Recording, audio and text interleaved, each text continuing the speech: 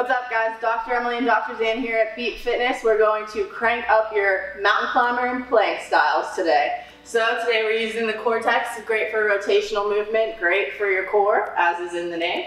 We're gonna have Dr. Dan come back. Dr. Dan's coming back into his plank position. So here he's able to rotate just through his perfect small circles with his hands. And we can also add rotation with the entire shoulders. Awesome. Crunching that shoulder back towards your back pocket here. Breathe into that belly. Good.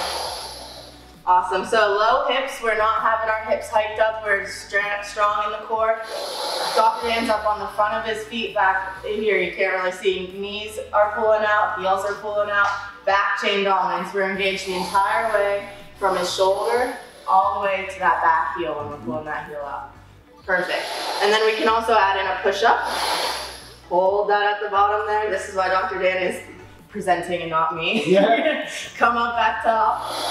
Same thing, down, rotate into a push-up position. Elbows are packed back here. Shoulder blades packed. There we go. Come back up. Good coaching. Yes.